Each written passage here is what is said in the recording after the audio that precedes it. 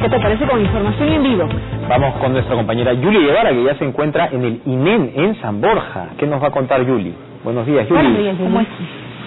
¿Cómo estás, Enrique? Bueno, a propósito, en el INEN eh, tiene una serie de lazos que ayudan a la donación voluntaria de sangre. En esta oportunidad, eh, la campaña Dale Vida 2015 está eh, impulsada por la ONG By People y se realizará a partir del día de mañana, pero ya hoy día hay voluntarios que están eh, donando sangre, eh, un tejido muy importante para la recuperación de los pacientes con cáncer, precisamente pacientes, la mayoría de ellos que vienen del interior del país y que requieren pues una serie de transfusiones.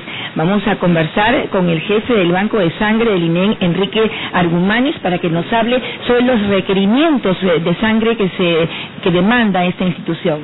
En buenos días, gracias por la visita.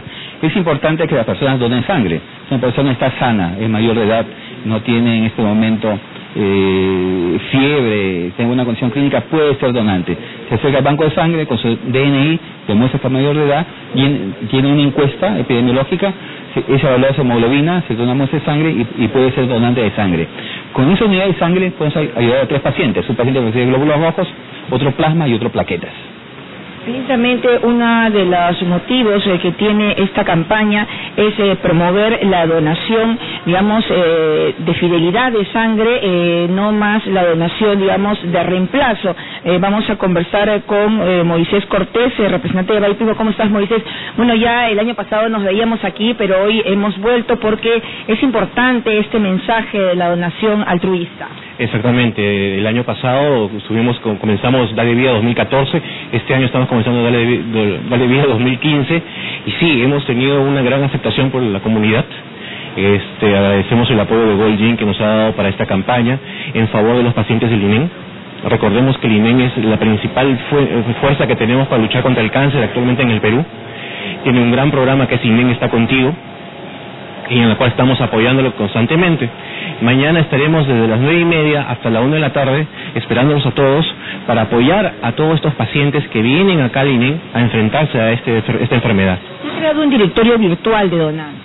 Exactamente, una forma de facilitar que ese deseo de poder apoyar, hemos creado un directorio virtual donde los pacientes, donde los donantes pueden inscribirse, pueden ingresar a www.bypeople.org y colocar sus datos y inmediatamente serán convocados para poder donar, ¿no? Apoyando este plan de INEN está contigo.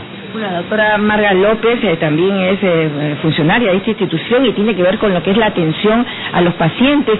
Eh, estos lazos que tiene el INEN, ¿de qué manera contribuyen a mejorar la vida, digamos, de las personas con cáncer? Buenos días. Son muy importantes los lazos del INEN porque nos permite sensibilizar a la sociedad civil para que muestre su solidaridad con todos los pacientes con cáncer.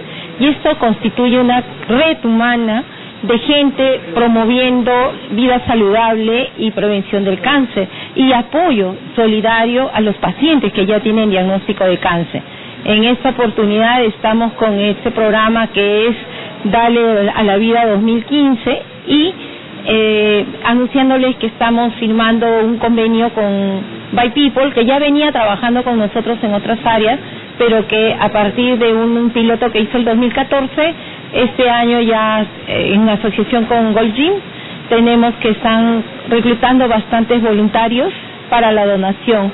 Ustedes saben que en el cáncer, especialmente en los tratamientos de leucemia y linfoma, es muy importante el que se esté siempre, eh, que existan personas que quieran solidariamente donar sangre porque es muy necesaria para los pacientes.